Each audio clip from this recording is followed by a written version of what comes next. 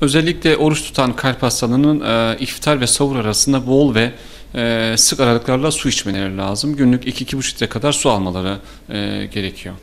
Diyanet takvimine göre Hatay bu yıl 17 saati aşkın süre oruç tutacak. Diyanet sahur vakti ve iftar saatlerine göre Türkiye'de yaşayanlar bu yıl 17 saati aşkın süre oruçta olacaklar. En kısa oruç Ramazan'ın ilk günü tutulacak ve iftar her gün biraz daha ileri gidecek.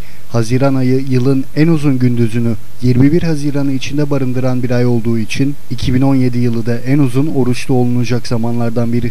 27 Mayıs'ta başlayacak Ramazan'ın son orucu da 24 Haziran tarihinde tutularak Ramazan ayı bitirilmiş olacak.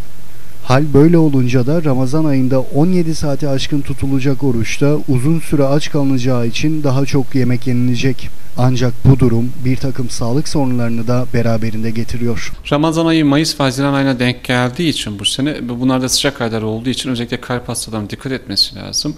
Gündüz vakti sıcak vakitlerde çok dışarıya çıkmamaları lazım ve iftarla sahur arasında da bol su içerek vücudun dengesini e, göz önünde bulundurmaları gerekiyor.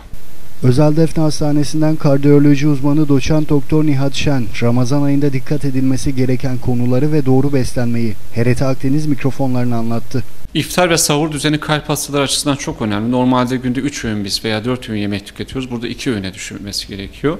İftarda aşırı yemek yenilmemesi lazım ve araya ara öğün koymamız lazım. Önce su ve çorbayla başlanıp e, daha sonra bir 15-20 dakika ara verdikten sonra ana öğün yemesi daha uygun. Tatlıyı iftardan sonra yememek lazım. Tatlıyı belki iftarla sahurun arasında bir 2 e, saat bırakarak iftardan sonra yemek e, daha uygun olacaktır. Sahurda da özellikle kahvaltı tarzında veya baklagiller tarzında proteinler zengin, gün içerisinde tok tutacak besinleri yemekte fayda olur diyorum kalp, kalp hastaları için.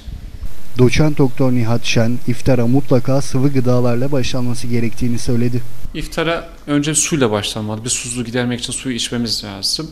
Daha sonrasında bir çorba e, içilebilir. Sonrasında ana yemeğe geçmeden muhakkak bir ara vermek lazım. Çünkü biraz beynin e, doygunluk hissini e, oluşturması lazım ki aşırı yemek yemeyelim.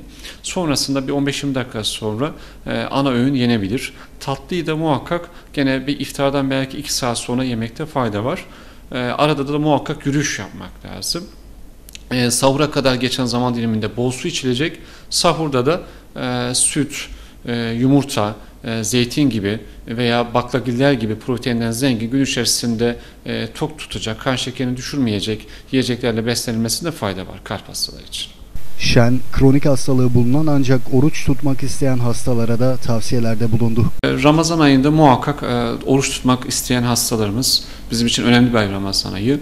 E, doktorlarından izin almaları gerekiyor. Doktorlarına habersiz herhangi bir şey yapmamaları lazım. Bununla birlikte eğer oruç tutmak istiyorlarsa ilaç düzenleri ayarlanarak ve Ramazan öncesi ve sonrası da yakın takip yapılarak oruçlarını tutabilirler diye düşünüyorum.